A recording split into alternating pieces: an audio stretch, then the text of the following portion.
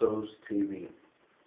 Well, today I interviewed my apostle, Apostle Leaf, and he preached about holiness. How can you live holiness? And how can you be real with God? He preached a good message today, so this is what I gotta show y'all on Winning Souls TV. First, I interviewed him and sit down and talk to him and ask him why we should give our life to God. So he answered that question.